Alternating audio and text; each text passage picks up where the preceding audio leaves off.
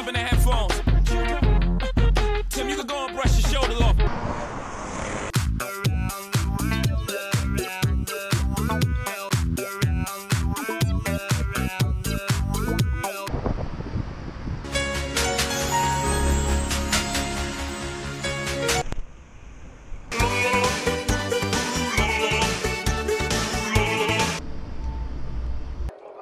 Il a été euh, courageux ces deux derniers jours en attaquant dans des côtes de deuxième catégorie à proximité de la ligne, en faisant les descentes à bloc, mais là en haute montagne, il subit.